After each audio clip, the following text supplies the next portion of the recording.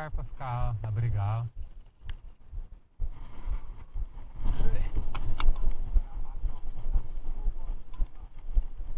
Mas se quiser esperar aqui, e agora vai desaguar, né, fi? Olha lá pra você ver. Vamos pra ali, ó.